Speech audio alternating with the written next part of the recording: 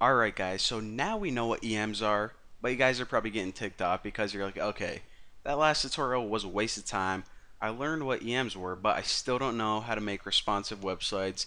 Getting pretty mad about the punch me in the face. Well, calm down because in this video, I'm going to be showing you guys exactly how to use that knowledge to make a flexible web layout. So the first thing I want to do is this. Go ahead and get rid of all those divs because we don't need those anymore and also clear out everything from the CSS file. So we pretty much have two blank templates. Now the first thing I want to do is this. I want to make a div in here and we'll just give it the ID of, uh, I don't know, wrapper. So this is actually going to be our very first flexible or responsive web element. So, you know, congratulations, this is a big moment for us. So save that right here, and actually, if you want to type something in there, just so we have, I don't know, something to look at. I'll type babies have rabies, but you can type whatever you want. Alright, so now we have a blank element on the screen, and if we looked at it, pretty boring. So let's go ahead and hop over in our CSS, and I'll show you guys this. What I want to do is actually, since this is a div, as you guys know, divs are pretty much boxes or containers that can um, hold a bunch of other elements. So just so we can distinguish this div from the rest of the screen, I'll make the div white in the background, I don't know, like a gray color. So the main body of the website, I'll put um, background color. You can have anything you want, just don't make it white. I'm going to make mine 222, 222, which is going to be like a dark gray this color right here. So my div, remember we give the ID of wrapper, so ID equals wrapper. Let's add some properties to this. Now the first thing I want to do is give it a background color of white, and that is just because if we don't, we're not going to be able to tell. It's just going to look like it's blending into the background. So what we're going to do is we're going to say that this is the meat of our website.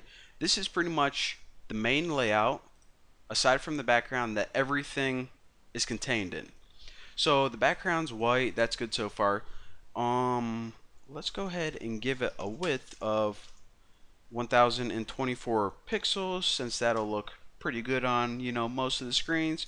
We'll also give it a margin and we'll put 5 pixels auto now whenever you do this, this means the margin of the top and bottom is 5 pixels, so 5 pixels from the top and bottom. So it isn't like right butted up against the top. It looks kind of weird that way. And auto means adjust it so it gives you an automatic value for the left and the right. And what this essentially does is it centers it right in the middle of your web page because for some reason whoever is making the CSS the rules for it in HTML5 they made it really hard to center stuff and um, I don't know. So this is how you center a web page. Now for the border I'll just give it I don't know a border of like 5 pixels and solid in red. So let me go ahead and save this and I'll show you guys what we got. Alright pretty cool. So we got a nice centered web page right here. And uh, let me just go ahead and shrink this. Alright still looking good. Alright I see what the problem is here so look at this border right here when your screen's big enough, it looks great. But once you start shrinking it, your crap starts getting cut off right here. So the website actually goes to like out here. But since we're using pixels in this old cool or excuse me, this old school crap, it's giving us a bunch of problems. So I want to actually, I'm not even gonna.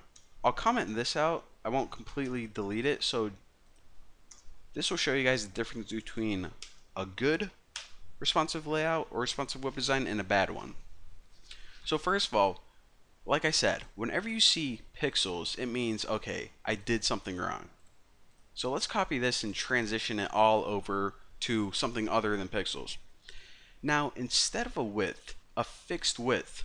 A fixed width means no matter how small or how big your window is, it's going to be the same amount of pixels no matter what. Well, we don't want anything cemented in there we want this flexible because that's what we're learning. So what you can do instead is you can actually give it a percentage.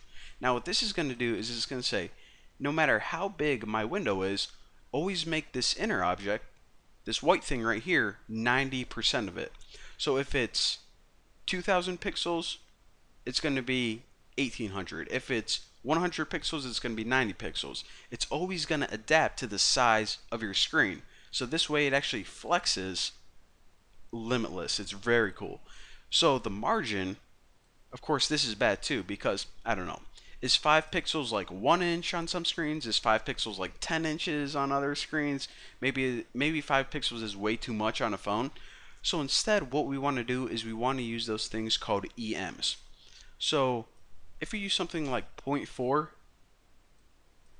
EM, what it's going to do is it's going to go grab the default font size for whatever device you're on, and it's going to adjust the margin to that appropriately. So it's going to be more consistent viewing experience no matter how big your screen size is. So of course, you're going to want to adjust this based on how everything looks. But this is the basics of how you make an adaptive, flexible layout. So check this out now.